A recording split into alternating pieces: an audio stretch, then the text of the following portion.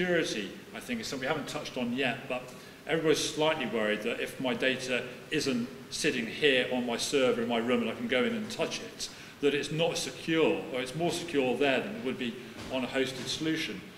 Um, I'm coming to believe actually the contrary is true, that the, these large cloud providers, security is their number one priority. They spend far in excess of any amount of money that I could possibly spend on making sure that their systems are as secure as they completely could be, because upon security, their reputation lies.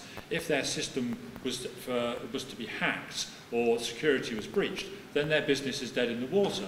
So, you know, they really focus and spend a lot of money making sure that their business systems and their solutions are more secure than, you know, again, anything that we could, we could afford to have ourselves. So uh, security was one of those, another key reasons why I think moving to the cloud, it sounds as if it should be less secure, actually, I think it probably is more secure. I think Jason's done a better job there selling that than I could have done. so it's actually, it, it's brand damaging, it's brand reputation at the end of the day. You know, we, we have a data asset in Cybertil that we have to look after. You know, we have circa 700 customers, we have, you know, about 1.2 billion in, you know, pounds going through the platform. We have millions and millions of customer records and we've got to make sure they are secure. So we are passionate about security. We have the latest tools, we have the greatest tools.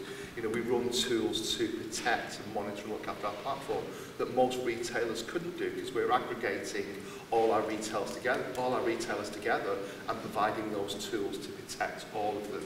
Which as individuals they just couldn't afford those tools. So. When you come down to you know the ever exacting standards that PCI are putting upon retailers, the new data protection laws that are coming out next year, you know, to, uh, to be able to understand all of those things and to be able to implement technologies to make sure you're up to date is, is really time consuming and, own, and onerous for retailers. So why not you know, pass off that uh, responsibility to a third party whose meat and drink is to make sure their systems are fully PCI compliant, are fully up to spec with all the latest data protection rules. And then you can just take advantage of that technology and, and you know, keep your cost of, of running these solutions um, as low as you possibly can.